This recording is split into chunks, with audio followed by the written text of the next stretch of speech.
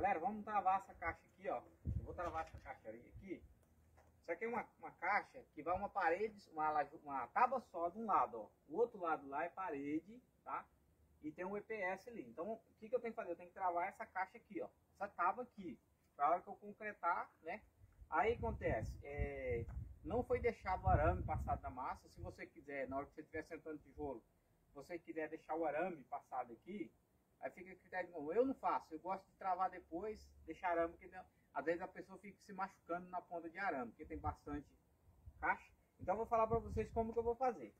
Ó, a minha, a minha caixa aqui, eu preciso de uma tábua aqui de 30, é, preciso de 35 centímetros aqui, ó. Como a tábua só dá 30, ó, como a tábua só dá 30, eu preciso pregar mais um, um comprimento aqui, tá? Então deixa eu pregar aqui já, vou mostrar para vocês. O que, que eu vou fazer aqui, ó. Vou, vou bater um preguinho nela aqui, ó. Só um aqui. Só para firmar ela aqui, ó. A madeira aqui, tá?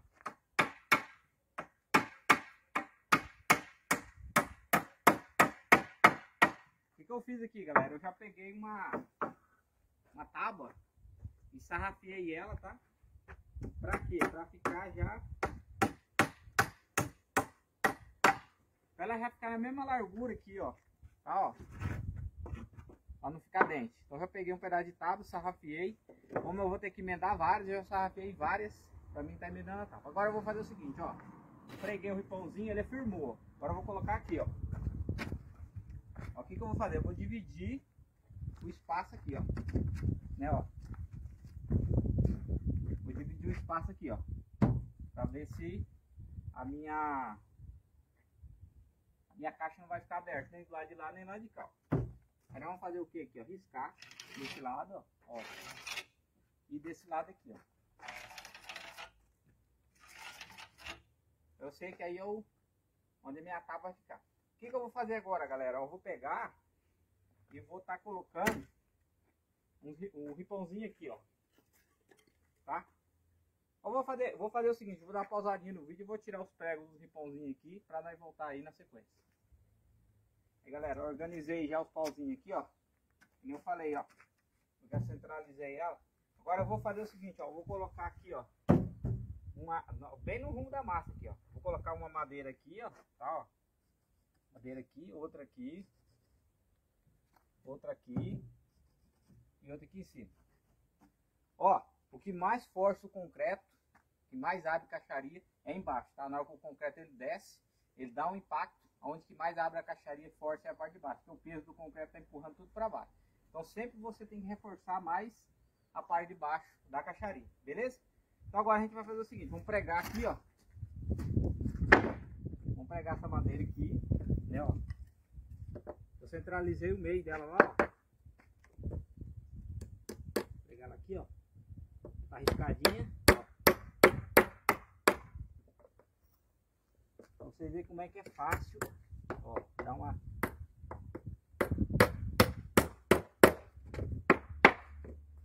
Outra aqui, ó.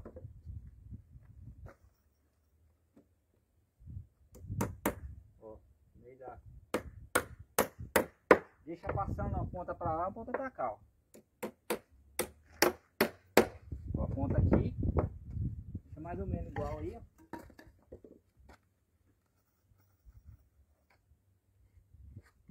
Você pode estar tá usando você pode estar tá usando 18 por 24, 17 por 27, 17 por 21, aí varia. A chegadinha aqui, ó.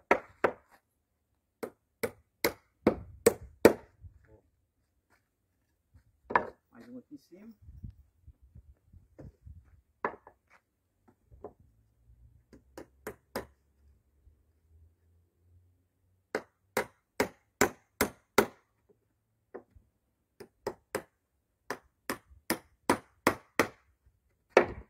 Beleza. Então, ó, o que eu fiz? Eu peguei, peguei as cravinhas aqui, ó, aonde eu marquei ali, ó, tá? vai ficar, ó, no rumo da massa, ó. Tá no rumo da massa, no rumo da massa, da massa, da massa, tá vendo? Ó. E eu já risquei aqui também, é a tapa. Então agora, a gente vai fazer assim, ó. Furar aqui, ó. Chega aqui, meu câmera, ó. Você vai furar aqui, ó. Um gomo pra baixo da... Eu já risquei aqui e aqui, né? Ó, aquela hora é pra ver o risco da tábua. Mostra aqui, meu câmera, ó.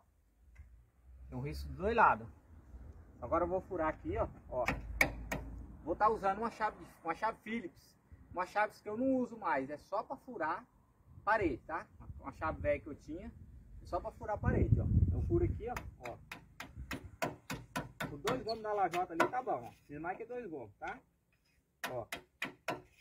Vindo de cima, já tá marcado ali. Você fura para trás, dá, dá risco, ó.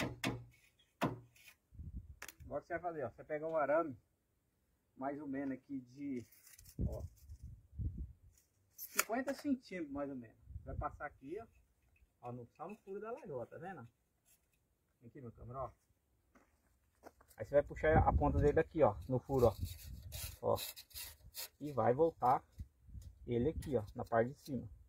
É um pouquinho mais chato, mas depois você pegar o jeito já era, tá? Ó. Passou ali.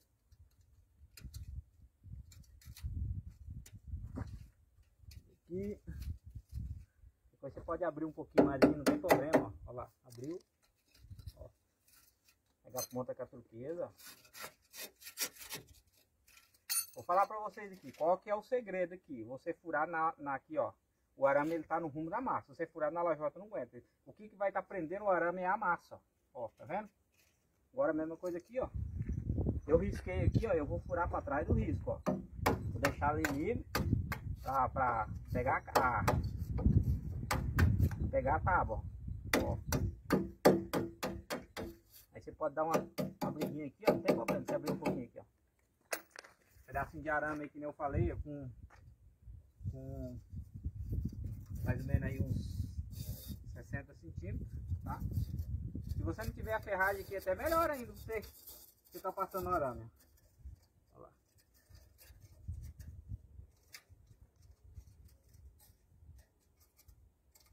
lá. Passou aqui, ó. Pega essa truqueza, puxa aqui, ó.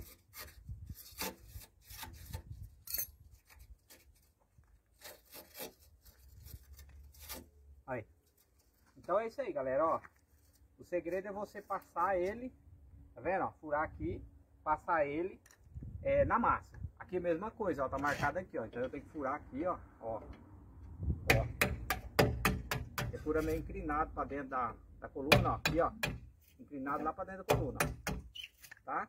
Esse aqui é o segredo, ó. Você, se você furar aqui aqui, ó, não dá certo. Tem que furar na massa. Então o que segura é a massa, tá?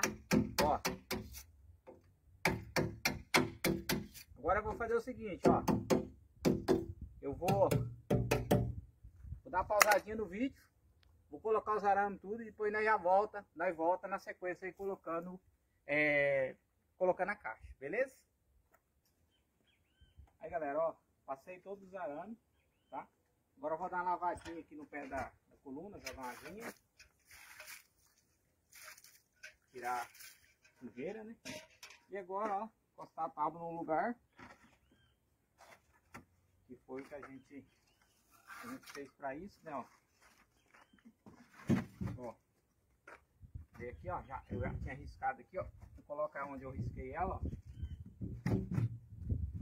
Agora eu vou fazer isso aqui, ó. Mostra bem pertinho aqui no canal. Agora eu vou fazer isso aqui, ó. Vou apertar aqui, ó. Antes de eu apertar de tudo lá, eu, eu venho aqui, ó. Tá vendo? Ó. O segredo é você é você sempre deixar na massa aqui, ó. Tá, ó. Tá bem aqui, ó. ó. Pega ali onde você, ó. O arame pra lá, pra não machucar ninguém na hora, na hora da concretagem. Que mesma coisa, ó. Puxa sempre o arame pra beirada da caixa aqui, ó, pra dentro aqui, ó. Tá vendo? Ó. Ó. Outro aqui. só, ó, é só a truqueza E o furadorzinho, né? Não precisa estar tá acompanhando, ó. Passou o arame pra lá. A mesma coisa, ó. Já, já tá arriscadinho aqui, ó. Então minha tábua tá certinha, ó. Tá vendo?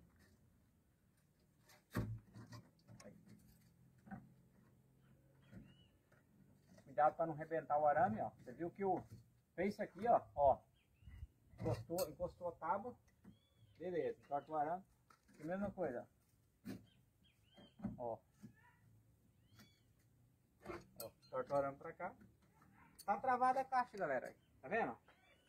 Travada. Ah, a minha caixa aqui, ó, vou falar pra vocês. Ela dá aqui 1,50m. Tá dando essa parede aqui, ó. Então eu coloquei quatro travas, ó. A trava ela tá mais ou menos aqui, ó. 40 centímetros uma da outra, tá, ó. De uma da outra aqui tá 40 centímetros, ó. Mas daí o que, que eu fiz? Na hora que eu fui colocar a, a trava, você viu que eu coloquei bem no alinhamento da massa aqui, pra mim tá furando um lado de cima, o outro lado de baixo da massa aqui, ó, porque é o que trava, beleza? Ó. Aqui, ó. Bem travadinho. Agora é só fazer a concretagem, deixar secar e depois remover a caixaria, beleza? Depois que eu concretar ela aqui, se eu conseguir eu faço um vídeo concretando e desformando ela aqui, beleza? Gostou? Deixa um like, compartilha o vídeo, deixa um comentário e tchau, até o próximo vídeo, tchau, tchau. Aí galera, ó, comecemos aqui a concretar os pilares, tá? Comecemos a fazer a concretagem dos pilares, já concretemos algum aí, agora a gente vai fazer a concretagem desse aqui, ó. Então o que, que a gente vai mostrar para vocês hoje aí? Qual que é o traço do concreto que a gente vai usar aqui em pilares, tá? A quantidade de pedra, de cimento, areia e, ó, o, o, o pilar é o seguinte, pessoal, vou mostrar aqui para vocês, ó. Vou dar, uma, vou dar só uma dica aqui para vocês, ó. Que acontece? O pilar também, ele pode estar tá subindo umidade por ele, ó. Ele pode, a, a contrapista aqui, ele pode entrar umidade aqui e subir. Então, o que, que a gente vai fazer? A gente vai fazer um concreto e vai pôr um hidrofugante no concreto, tá? Para evitar ele ficar umedecendo. Porque muitas vezes a umidade ela chega na ferragem, começa a correr a ferragem e subir a umidade pelo pilar. Então a gente vai tomar esses cuidados. Vamos para cá.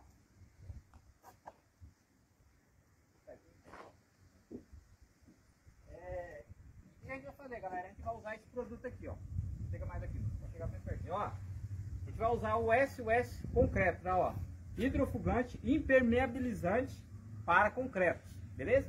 Então esse aqui, ó, o que, que você vai fazer? Na hora que você for concretar sua baldrama aí, você já vai colocar dentro do concreto já para impermeabilizar a sua baldrama, para não ter futuras é, umidade é, ascendente na sua parede, beleza? Ó, aqui é o seguinte, esse produto aqui, a cada um saco de cimento, 50 kg de cimento, você vai colocar cinco tampinhas dessa aqui, ó, tá? Cinco tampinhas, agita bem o produto.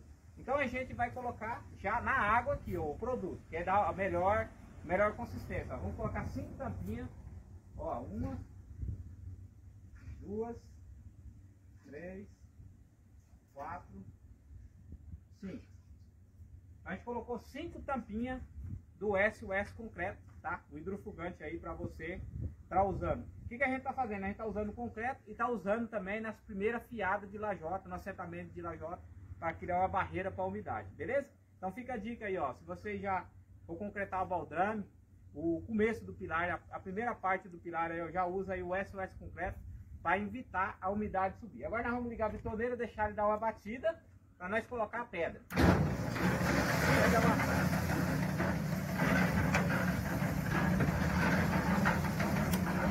Beleza, vamos para traço. O que, que a gente fez aqui? A gente colocou quatro baldes de água aqui dentro da bitoneira. Quatro baldinhos daquele. Agora, a água, pessoal, não tem como a gente falar certo. Ah, vai, vai tanto de água, porque a areia pode estar molhada ou pode estar seca. A gente vai trabalhar com esses baldinhos aqui, ó, que é um baldinho já. É, ele dá aí a faixa de 8, 9, 8, 9 litros de água, beleza? Então vamos colocar o primeiro agregado que é a pedra. Nós vamos usar a brita A1, habilitar tá um. E vamos usar cinco tambor desse aqui, que dá 18 litros. Beleza? Vamos adicionar cinco tambor desse aqui, ó. Para você adicionar a pedra, você não precisa deixar a bitoneira ligada, tá? A gente vai evitar de ligar a bitoneira por causa de barulho. Então vamos agregar aqui 5 de pedra. Por que, que é bom você sempre fazer no, com balde? Porque as medidas vai ser sempre iguais. Se você pegar na pá e jogar ali dentro, a pá pode vir uma mais rasa, colocar mais cheia, mais vazia. E aqui não, aqui você não vai errar a medida seu concreto. Vai ficar sempre na mesma medida. Por isso que eu gosto de usar esses baldes aqui, tá? Ó. Ligar aqui.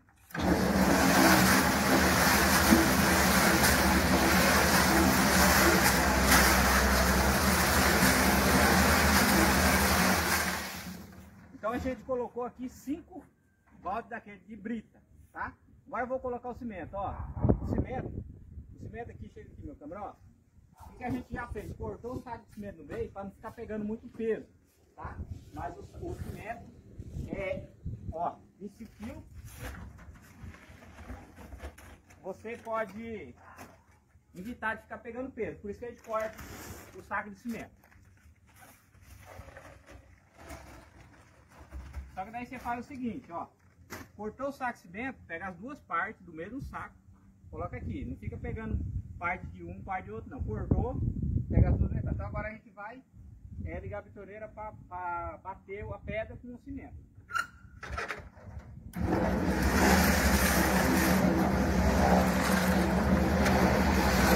Deixa ela bater pouco.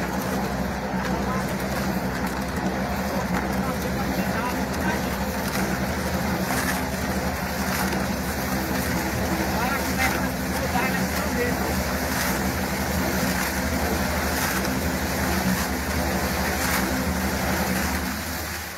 Se você não deixar a pedra bater um pouco aqui, ó, aí acontece? Vai jogando areia, aí ela gruda lá na bitoneira. Então você espera ela dar uma batida para depois você colocar areia. Agora vamos colocar 5 de areia também. Ela colocou 5 de pedra e 5 de areia.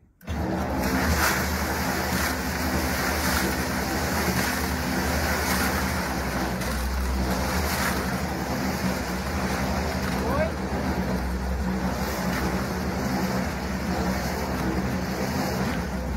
Aí, mano. Vem, vem. Vem.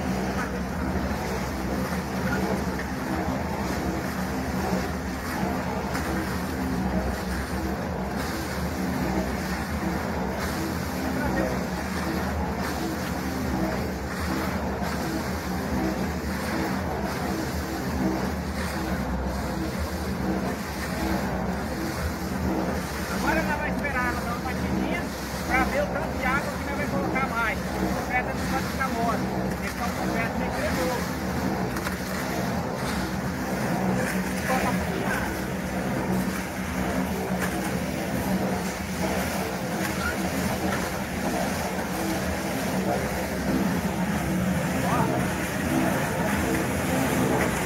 Vamos deixar ele bater mais.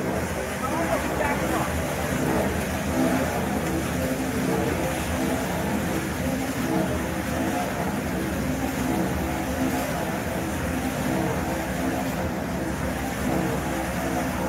Agora vamos deixar ele dar uma batida.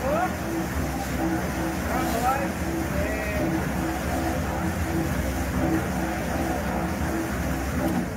Agora tem que esperar ele dar uma batida boa, pessoal, para ele misturar o agregado, a pedra, o cimento, deixar ele bater mais um pouco, tá? Dar uma mistura boa. E não colocar mais água. É isso aqui, ó. Senão você não vai conseguir o, a consistência aí do 25, que a gente tem que conseguir pelo menos 25 FCK aqui nesse concreto para estar concretando a baldame. Então isso aí depende muito do, do tanto de pedra, do tanto de areia, cimento e água que você coloca. Não adianta você colocar um monte de cimento e colocar muita água, aí o seu concreto não vai atingir o FCK 25, beleza? Então agora nós vamos deixar bater aqui, já nós volta na sequência aí. Aí galera, ó, chega aqui no câmera, ó, ó como é que ficou o concreto, ó. Tá, ó, não ficou um concreto mole. O concreto ficou é, bom de pedra, ó, pra você ver. Deixa eu pegar até uma colher aqui, ó. Ó como é que ele ficou aqui, ó. Ó, tá, ó. Ele não pode ficar aquele concreto lavajão. Tem que ficar um concreto bem cremoso, tá? Senão ele não consegue atingir aí o 25 FCK. Ó, vou fazer o seguinte, ó. eu tô usando aqui esse impermeabilizante para não impermeabilizar o concreto, as massas que, da, da assentamento de lajota que a gente tá usando. Vou fazer o seguinte, eu vou deixar linkado aqui embaixo na descrição do vídeo o site onde você vai encontrar, vocês vão encontrar aí o SOS Concreto, tá? Tá Aqui na descrição do vídeo. na hora que você estiver fazendo a compra lá, tem um código de desconto lá. Usa o código de desconto lá que vocês vão ganhar lá uns 5% de desconto no produto aí, tá? Vai concretar o baldame da sua casa, vai fazer concretagem de pilar. Já adiciona o SOS concreto aí, já se livra de umidade, beleza? Agora nós vamos pegar o concreto aqui, galera, e vamos... É, vamos pegar o concreto aqui e vamos já concretar ali. Vou mostrar um pouco da concretagem para vocês, beleza? Vamos dar um pause no vídeo e já vai volta ali. Galera, o Maurinho já carregou o concreto e o Marcos já vai jogar ali dentro da coluna, ó. Concretinho. Concreto tem que ser isso aí, ó. Você vai concretar uma, uma coluna, você não pode trabalhar com concreto mole não. Tem que ser um concreto cremoso, porque senão você perde resistência do concreto. Ó, essa, essa caixa aqui, como ela é uma, uma parede de divisa, só tenho essa tábua aqui, ó. Então eu tive que fazer um escoramento nela aqui para o concreto não estar tá empurrando essa caixa para cá, ó. Então agora o Marco vai jogar o concreto ali e nós já vai fazer aí a, a adensar o concreto já já aí. Vamos jogar umas duas carreolas de concreto, depois nós vamos adensar o concreto. Aí galera, ó, o Marcos está fazendo a concretagem. Nós fez um vídeo dessa caixa aqui, ó, mostrando como travar a caixa. Para travar a caixa. Só que agora para travar a, a caixa para a parede o concreto, não empurrar a parede para cá, nós não tinha mostrado que a gente tem que fazer isso aí, ó. A gente colocou um cabo lá, né, ó, e colocou um ferrinho, ficou um ferro bem grande aqui, ó, e tá escorando para o concreto que tá caindo ali atrás, ele não dá pressão e empurrar a parede para cá. A caixa em si não ia abrir. Do jeito que nós travou aqui, ó, não ia abrir, mas daí a gente fez isso aí para não tá empurrando a parede para cá, ó. Mas nós vai acabar de concretar aqui e vamos fazer o adensamento da coluna e mostrar para vocês como que ficou aí. Aí galera, acabou de concretar aqui em cima, tá? Como que a gente vai é, evitar para ela não dar bicheira, né? Muitas vezes a gente pega o martelo ó, e fica batendo.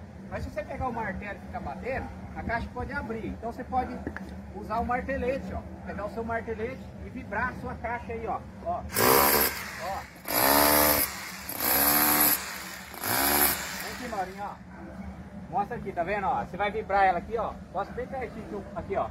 Agora você vai vibrar, ó. ó.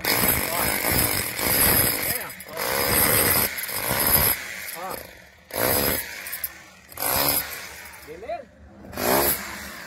Então você pode estar tá fazendo o adensamento do concreto vibrando. Se você não tem um vibrador, você pode usar o martelete e fazer a vibração. Porque você está trabalhando com um concreto mais firme um pouquinho, que é o correto, para ele atingir o 25 FCK, pode ser que ele fique engaiolado e, e vai dar bicheiro. Então usa o martelete, você vai às vezes ficar batendo com o martelo aí, às vezes até estoura a caixa. Então você usa o martelete, que ele força menos, ó.